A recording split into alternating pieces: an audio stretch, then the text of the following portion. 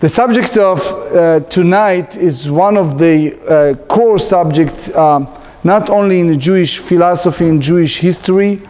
Um, I may say that is a core subject in Jewish thought, is the Maimonides or Rambam. Um, I assume many of you know that uh, the Rambam is not only a great uh, um, philosopher, physician, rabbi, but many hospitals around the world and religious institutions and more named after him. I would like to zoom in one of the subjects about the Rambam, which is the Moreh Nevuchim, the guide of, of the perplexed. Um, obviously, it will not be um, exaggeration to say that we can have a full year full of lectures just about him and his life and his tremendous influence now, which is about 900 years later. The core study is how one man was able, almost like we are very few in the Jewish world that reached that level. Um, they said, uh, is a famous statement, they said about him, Mimoshe ad Moshe lo kam ke Moshe. From Moses in the Torah to Moses Maimonides, is no one like that. So his real name is Rav Moshe ben Maimon. His father was a great rabbinic judge and therefore in Hebrew acronym we um, call it Rambam. Uh, or in those days, in the language, common language there, it was Maimonides. He was born in 1134 and he passed away in uh, 1204. Um, he traveled a lot, not because he wished to, but by force of uh, circumstance, mainly persecution and more of the Jewish people. Um, he was born in very, very short. He was born in the city of Cordova, which is a well-known a, a city in Spain. And then, because of the uh, persecution, at that time it was the Islam uh, uh, persecution, later on it was the Christian uh, persecution. But anyway, he moved to, um, first stage was the, to Morocco, Egypt, and then he was in Israel. Then he was back to Egypt. A few version what exactly, how he traveled and where exactly happened. But um, even the subject of uh, his burial site, it's still controversial. There are many people hold that in Tiberias, in Tveria, in Israel, there is a site that visited by many, and they claim that that's the Maimonides um, grave site, while the Jews in Cairo claim that he is buried there and his uh, burial site is there. So therefore, who am I to say where exactly was buried and what happened? But the first stage of his life was the um, the um, persecution not only of the this tribe is called Almohadim, but later on it was the um, growing tension between the Christian and Muslims. Um, just to understand a little more, the, in the Islamic world, it was a concept that's called dhimmi. Dhimmi meaning, if you're not going to convert to Islam, we give you another option to live peacefully in our country as long as you understand that you are a second class citizen by definition. Meaning, um, you're not allowed to dress like respected Muslim, you're not allowed to build, um, for example, synagogue highest than the mosque, etc. So the Almohad by the end of their um, reign, they tried to remove some of those rules of the dhimmi. But um, he find, the, the Rambam find the life there close to impossible. And he moved with his family to a city called Fez, which is in Morocco. Over there, according to all of our sources, he studied uh, medicine. And obviously, again, it's a different study of medicine of the 1100 versus 21st century. But um, after graduation, if I may say in our language, he went, uh, he practiced medicine and he went to Israel. He lived in the old city in Israel. Again, there is a synagogue, one of many, named after uh, him. Some claim that that was his synagogue. But the key is he moved from there to Egypt. And to this very day, it's a big question how come he left the holy city of Jerusalem, the holy state of ancient uh, Israel, and uh, went to Egypt. Um, There are many versions. The, the common version is that he felt that he can do outreach and help the fellow Jews better in the diaspora. But anyway, um, that was the era that, um, of the great persecution, mainly from uh, the Christian against uh, Muslims, but also against Jews. And the common denomination was the idea that uh, they took uh, capture, they took people and they um, find an excuse, a pretext, while what, they did something wrong and they put them in jail.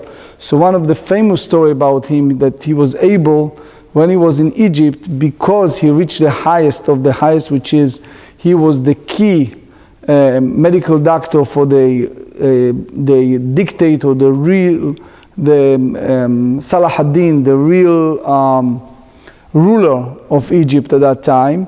And because of his stature, he was able to raise a large sum of money and release the Jewish prisoners.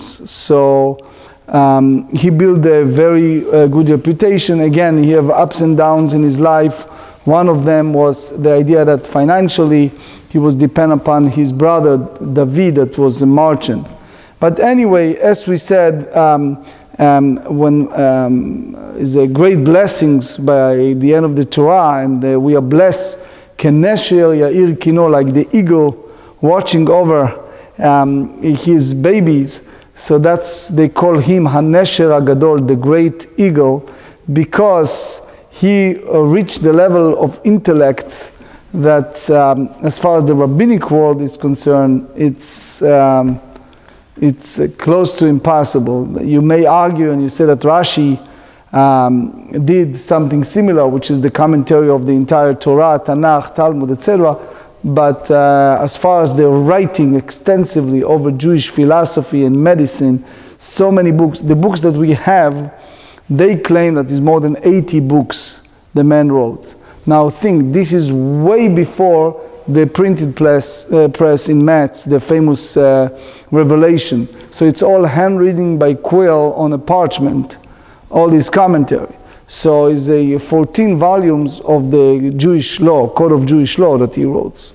Or um, books of uh, philosophy, theology, comparative religion, letters, special letters, um, and more. Uh, in general, he said that uh, any great scholar should not be afraid of constructive criticism. Quite contrary, he encouraged criticism as long as it is not personal. He is, in a way, was seeking um, kind of um, argument or discussion over subject that people agree to disagree. But he wrote in the introduction to one of the key of his books as follows. What is Judaism? What is Judaism all about? Meaning, me, he said, as a rabbi, philosopher, um, a medical uh, doctor, life experiences, prolific author, and more. What Judaism is all about. So he said, Yesod HaYesodot, the essence, the key point of all Judaism, ladat et Hashem, to know God. So if um, um, one of his books is a list of commandment. So usually the are rabbis who list the commandment by the chronological order. Some hold that it's a mitzvah of the beginning of the month, the month of Nisan. Some said fruitful and multiple. Everyone has a different view. What is the list of mitzvot? By him to know God. That's the key of the, the beginning of the departure, as we said in Aleinu every time. Or uh, we said, Bechol drachecha da'ehu Everything you do, you have to have a feeling, the Rambam said, that the God is there watching you all the time, no matter what. So he said, any person that search his or her life to understand God or to know what is God expecting in the world and what exactly the purpose, um, that's fulfilling a great mitzvah, or doing what, what is good in the eye of the Lord. So if you study physics, he said, or you study astronomy or any other subject, and your goal is to understand God better, to understand the attribution of God better, and be connected to God better, you fulfill the most important mitzvah. Again, that's uh, almost like um, some said Aristotelius thinking, some, some later on Hegel thinking, but that's basically um, um, cleaving or, or, or, or delving or uh, connecting the mundane life within the Creator and understand that since there is a creator and we are part of his creation and we are delve as one entity and understanding better, so then we reach the highest. Several um, great um, scholars try to translate the Rambam. The problem is, was written in Arabic, so the big translation here and there it's also Hebrew, but Arabic Hebrew it's relatively simple. The moment you go to other languages, something is missing. I think the best one is the, um, the uh, great Rabbi Kapach. Rabbi Kapach was a short man, about uh, 4, 7, 4, 8 height, but one of the most prolific, prolific of the prolific author. He was um, um, a Yemenite rabbi, and he basically accurately translated the entire books of the Rambam, or at least the books that we know, to Hebrew with his own commentary. So imagine this is way before the computer era, even nowadays. Um, it was the family called Ibn Tibbon that did it. But for example, since we talk about the first important mitzvah by the Rambam, Ve'adata ayom, we said in Aleinu Leshabeach, in our davening, each and every time, you shall know today. What does that mean? Ve'adata ayom, you shall know. What does that mean?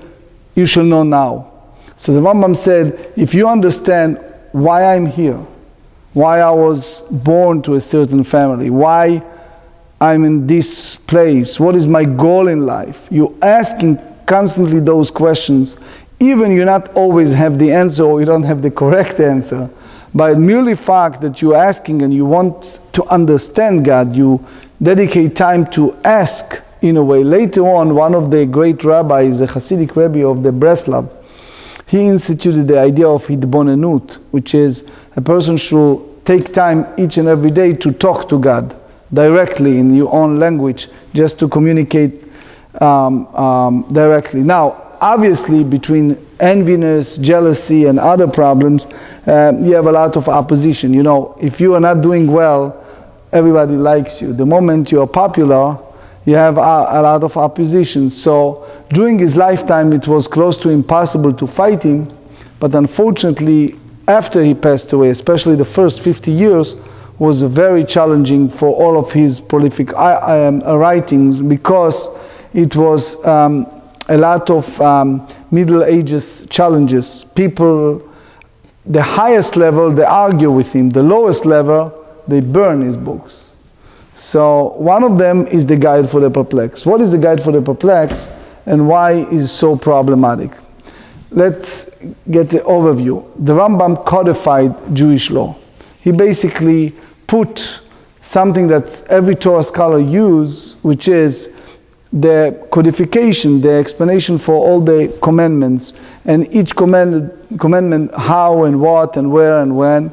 And if, like he made himself the final authority in that sense, and he became in some area. Even many rabbis disagree with a lot of things, but they agreed that his opinion counted, right? So, for example, just give a, a vignette, a little example. He said in the Yad HaChazakah, the 14 books of uh, Yad is 14. So, he's, uh, in a, uh, the mitzvah of davening, of praying three times a day. So, no matter what, you have to daven every day. In the Guide for the Perplexed, he went to a total different direction. On one hand, he said in the introduction, this book is only for the scholars. If you finish reading all my other books, you can study this book. Unfortunately, the, the tendency of people, when you tell them that, they purposely want to study that particular book. So he explained in that book, which called Ta'ameh Mitzvot, in a way he contradicts himself. Because in the previous writing, he said there are many mitzvot like the red heifer. Take the ashes and sprinkle it and all these mitzvah. It's not a mitzvah that you should search. You should understand it's the Lord commanded you to do it. The Lord commanded his servant to do certain thing. Do it and don't ask. You know, in the old days in the cheder, they used to say, Azei schreiben. That's the way it's written. That, that's the way it's written. That's it. In the Guide for the Perplexed, he came out with a lot of explanations why certain mitzvot commanded. Again, it's his opinion. Others disagree, but it's his opinion. So, for example, he dealt with the mitzvah of sha'atnez. The Torah said that you should not mix wool and linen. In one location, he said, it's a law, don't ask. In the Guide for the Perplexed, he tried to explain. The idea of sacrificial offering, it's a law. Now he tried to say that it's uh, other nation did all kind of things. Uh, it was a lot of places that he brings his own interpretation. And the problem with that is um, the moment you bring your own interpretation, and in Jewish world there are many, you create an atmosphere of, you know, people going to challenge that. So let's take, for example, the uh, something we read in the Torah just last week, the mitzvah of you shall not mix a kid it, with its mother's milk. So obviously, it's written three times in the Torah, and is a rabbinic writing how to interpret it. The prohibition against cooking, um, um, eating, or driving benefit from that, etc. But he basically said there that um, um, the reason it's because of other nation, the, the, the, the, the other nation worship um, this type of idols, and because of that the Torah said, or another place he said it's in, to increase um, fruitful and multiply. So in, in, in, in short, he said, search and search and search, and now I'm telling you, I have some explanations for certain mitzvot, and that's the reason, but that crea- created tremendous amount of, of um, uh, objections to, to his writing, to his book. Um, uh, the Torah said, for example, Hashem Elokim Emet, the Almighty is the God of truth. So, what does that mean, truth? He is now the philosopher. He wants to know what does the truth mean. What does that mean when you talk about God or you talk about the Creator? When you use the term Creator. So he starts mocking people in his writing. And he says, people are taking it like cut, chopping woods. That's the creator. He says, no, he says, creator is much deeper. It was a great Hasidic rabbi. I always bring Hasidic stories. So it was Rab Levi Yitzchak from Bardichev. It was a great Hasidic rabbi. So he used to, um, in those days, the people have a horse and wagon. So he saw a guy that he have a talis and tefillin while he's davening shachris, and he was uh, uh, greasing the, the wheel of his um, uh, wagon. So people come and says it's inappropriate, it's incongruous. What are you doing? You, you, you should daven, you should focus to God. What do you? And uh, Rabbi Levi said, no. Look at him. Even when he involved with work, he thinking of God, and his mind is always to serve God. So he does that while he's um, he using his intellect while he is doing a mundane work. So, um, as we said, um, the group of rabbis ob- objected his writing, but when it's come to a low, low level, it's always those zealous extremers. So they went in places like Provence, like Girona, they start burning his books. Now, it's hard for us as a people in the Western culture and Western world to even think that way.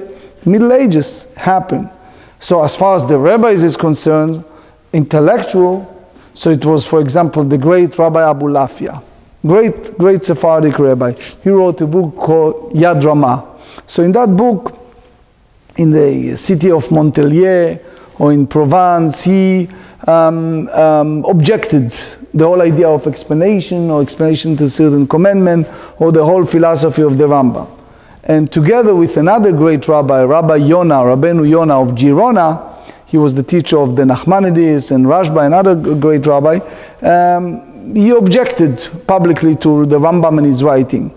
Another great rabbi that wrote extensively a commentary on the Rambam, whose name is Raavad, he wrote unbelievably interlineary explanation and challenged the Rambam in his writing, but it's all intellectual. It's, it, was, it wasn't a personal animosity. It's just challenging certain ruling or certain explanation or certain philosophical approach and see things in a different way. So in Judaism we said, you and I can agree to disagree and we can be friends. The, ver- the problem in Middle Ages, when it's go low, they did horrible things. So for example, they not only burned the Rambam's books, but they went to the Catholic Church and start saying that the Rambam wrote extensively against Christianity and Catholicism. So obviously, um, since they claim for paganism and they claim that, uh, um, which is in part true because the Rambam is no tolerance to all this. He considered the Catholicism as idol worshipping in his writing. So because people inform the, the Catholic Church and the authority, um, which mainly controlled by Christians, um, he's writing, they, um, it turned to the extreme, which is, again, traumatized the Jewish world. The people thought that, oh, we're going to them and going to tell them about the Rambam, so it will end up by getting rid of his books. Louis IX, the evil ruler of France, um, he decided to get rid of the whole Talmud, to burn the entire Talmud. So if you go to Paris, you see the, how many of you have a chance to visit the Louvre? The museum in Paris is one of the well-respected museum in Europe, right? Um, so you go to the Louvre, you see a huge, horrible display of how Louis IX commanded to burn the Talmud and how on public stakes they took piles of the Talmud and burned it in public.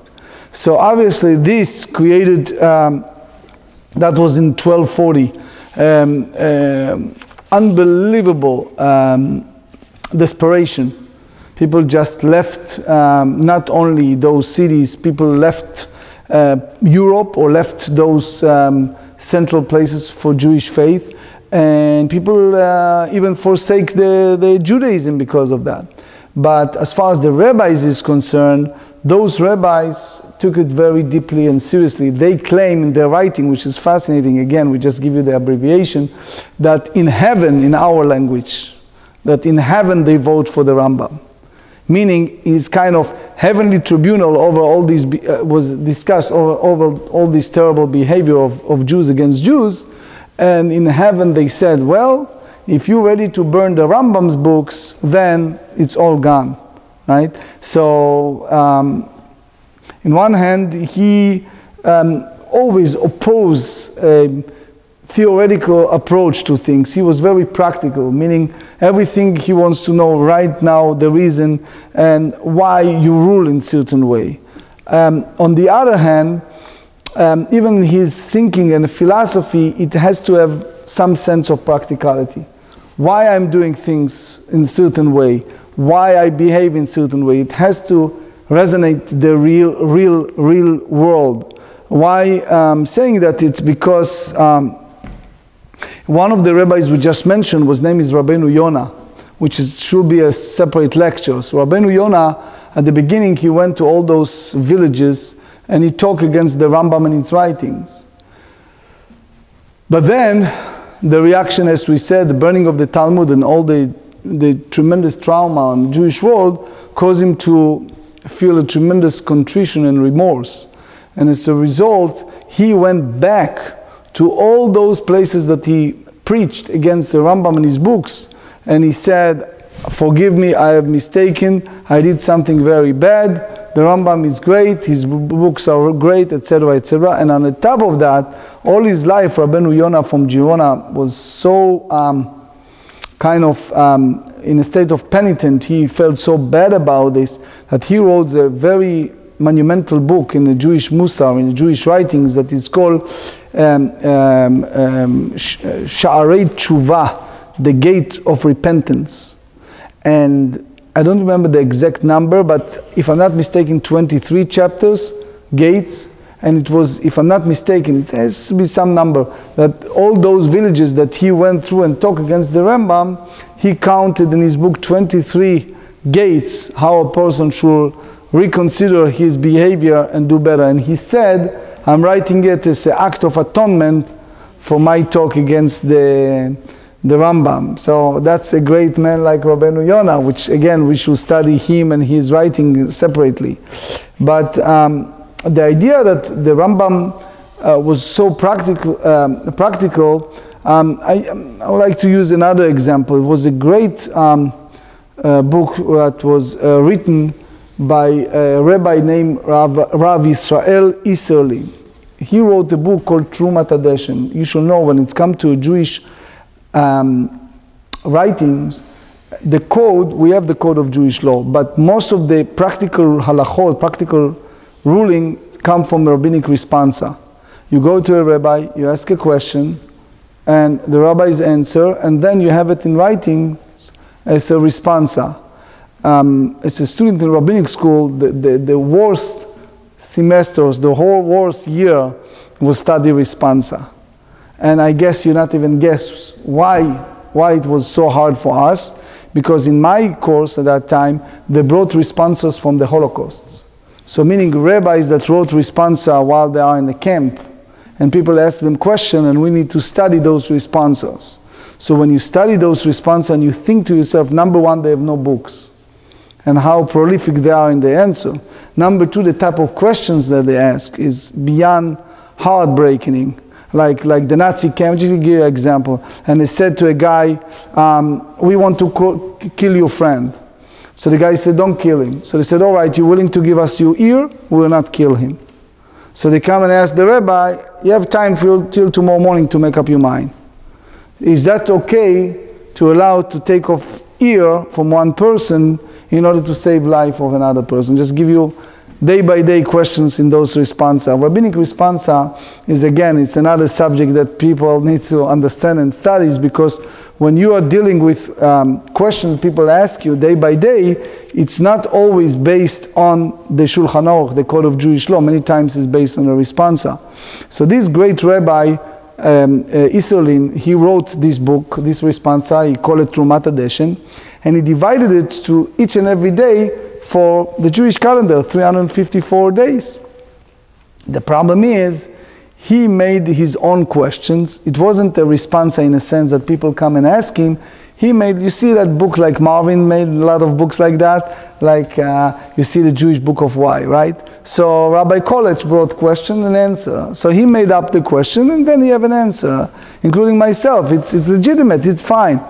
But then one of the commentary uh, uh, on the code, his name is Shach, the Siftei Kohen, he challenged that idea. He says, look, when it's come to, to understanding halachot, for example, the Maimonides, have the concept that's called Hashemimo, the divine providence is there when the teacher asks a question and you have an answer. Here is made up questions.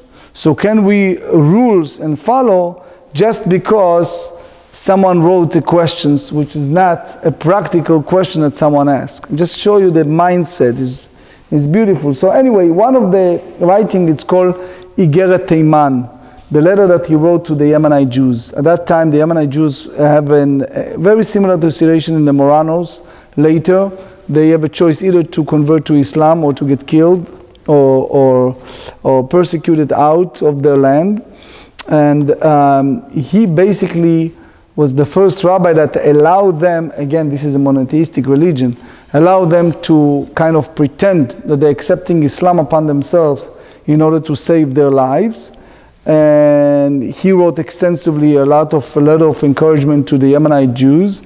So even he was in Egypt, he was uh, so respected that um, for long period of time, the Yemenite Jews in their Kaddish, they add, their they add his name.